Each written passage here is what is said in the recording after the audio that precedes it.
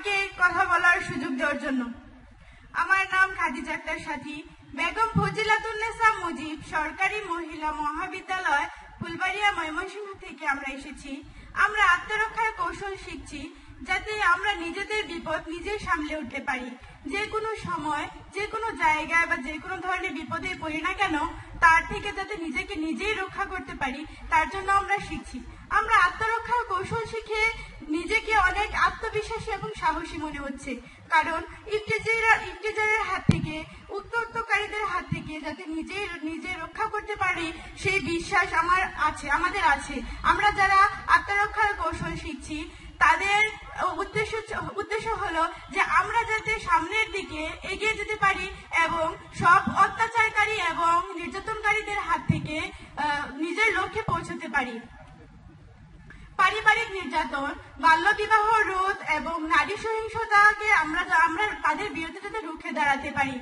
আমার আত্ম- আত্মরক্ষার কৌশল শিখে নিজের প্রতি নিজের বিশ্বাস আরও দৃঢ় হয়েছে যে আমরা নারী হলেও আমরা পারি, আমরাই পারব।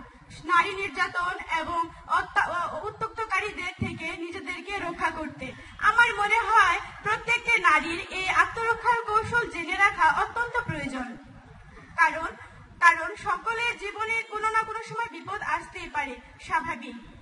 আমি আমার কলেজ কর্তৃপক্ষকে ধন্যবাদ দিতে চাই যে তারা আমাদেরকে এত বড় একটা সুযোগ করে দিয়েছেন।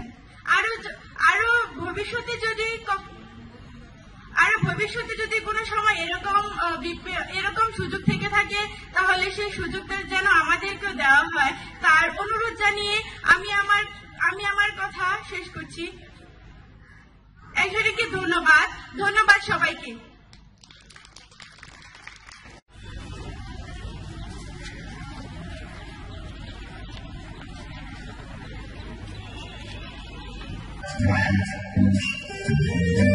Thank you.